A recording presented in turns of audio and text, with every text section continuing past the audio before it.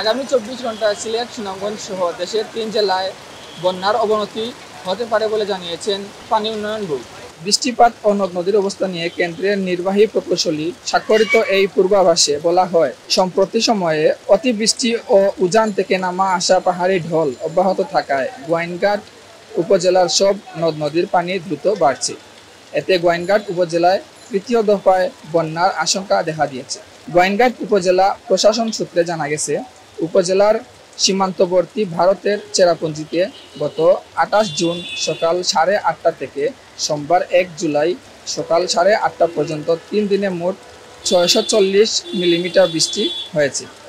এছাড়া এক জুলাই সকাল সাড়ে আটটা থেকে আগামী তিন জুলাই সকাল সাড়ে আটটা পর্যন্ত তিন দিনে মোট নয়শো উনসত্তর মিলিমিটার বৃষ্টিপাতের সম্ভাবনা রয়েছে। ভারতের মেঘালয় রাজ্যের চেরাপুঞ্জির বৃষ্টির কারণে আবারও বাড়ছে সুরমা কুশিয়ারা জাদুকাটা সহ সব নদ- নদীর পানি।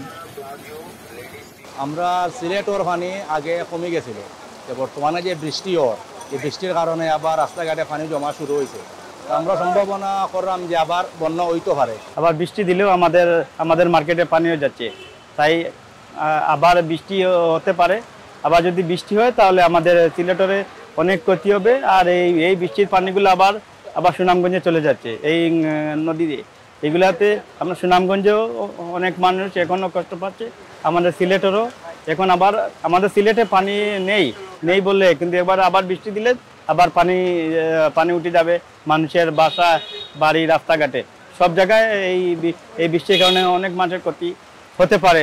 আজকে সারাদিন ধরে খুব ভারী বর্ষণ হচ্ছে, দেখতে পারছেন রাজা মেশন নিচে পানি জমে আছে। আর আমরা যতটুকু জানি যে চেরাপুঞ্জি খুব বেশি বৃষ্টি হচ্ছে, পাহাড়ি ডলের কারণে বাংলাদেশে এটার প্রভাব পড়তে পারে। আর এরকম বৃষ্টি হলে তো আর আপনারা জানেন যে তোমার যে ড্রেনগুলো আছে, তা তো অনেক বরাট বরাট। এই কারণে মনে করুন আমরা যে পানির জমা হয়ে যায়। এ তো সারাদিন ধরে এখন পর্যন্ত বৃষ্টি হচ্ছে। এইরকম বৃষ্টি হলে তো আমাদের জানি না কী হবে।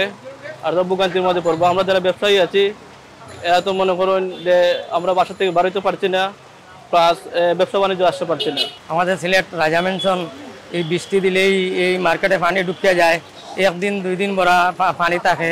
আমাদের মার্কেটের অংশের অনেক বই নষ্ট হয়, ক্ষতি হয়। আর সিলেটে আমাদের উপশহর বাড়ি তার পানি হইয়া, ড্রেন বন্ধ হইয়া থাকে। আমাদের এলাকায় নর্থ ইস্ট মেডিকেলের সামনে ময়ূরগঞ্জের সামনে আমাদের বাড়ি ছিলাম দক্ষিণ চুরমা। দালিপাড়াতে আমার বাড়ি। এই যাওয়া আসা করতে অনেক ক্ষতি হয়, আটো পানি থাকে। এই যে কুজারখোলার সামনেও একটু বৃষ্টি হইলে ড্রেন বন্ধ হয়ে যায়, পানি যাওয়ার রাস্তা থাকে না। এইভাবে আমরা সমস্যায় পড়ি। এই যে এখন বৃষ্টি দিচ্ছে, আমাদের এই যে রাজা মেনশনে দেখেন আমাদের পানি ঢুকার সম্ভাবনা, আমরা অনেকে বই তৈ যে উপরে তুলতে আসি। এইভাবে আমাদের সমস্যা হয়। আমরা দেখি করি, এই যে দুই দিন প্রাতে মেঘ বৃষ্টি দিচ্ছে, আমাদের বই আসছে যে আরও হয়তো পানি হতে পারে।